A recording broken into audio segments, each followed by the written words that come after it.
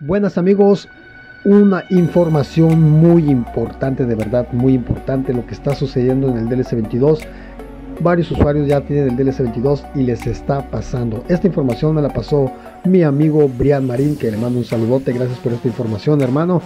Lo que está pasando amigos es en las cuentas, las cuentas que tenemos vinculadas a Facebook. Yo creo que es una trampa de los desarrolladores para volver a empezar, iniciar una cuenta nueva estas imágenes me las mandó Brian Marín, lo que le sucedió amigos cuando actualizó el DLC 21 para el 22.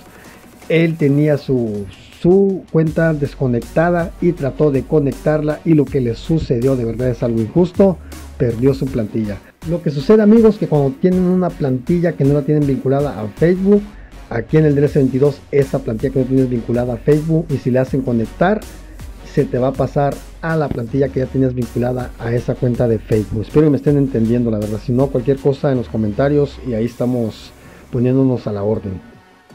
Lo recomendado amigos es antes de que actualicen el Daily Soccer para el 22, antes de que hagan eso, tengan su cuenta vinculada ya conectada, que no esté desconectada, que esté conectada en el DLC 21 para cuando actualicen el DLC 22 ya la tengan ahí.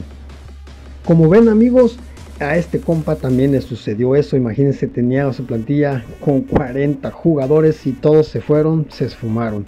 Así que amigos, de verdad, muy atentos. Antes, antes de que vayan a actualizar el juego, tengan su cuenta vinculada. Y una vez importante, importantísimo, una vez que ya estén en el DLC 22, no lo desconecten. Déjenlo conectado así con su plantilla que tienen. Porque si lo desconectan y luego quieren volver a entrar, van a perder esta plantilla y van a tener la, nueva que va a empezar en el DLC 22.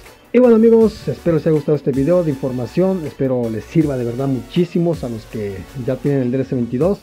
Nos vemos en un próximo video, cualquier cosa déjenme en los comentarios, suscríbanse muy importante amigos para que estén enterados de las nuevas novedades y noticias del DLC 22. Nos vemos en la próxima, cualquier duda déjenme en los comentarios amigos.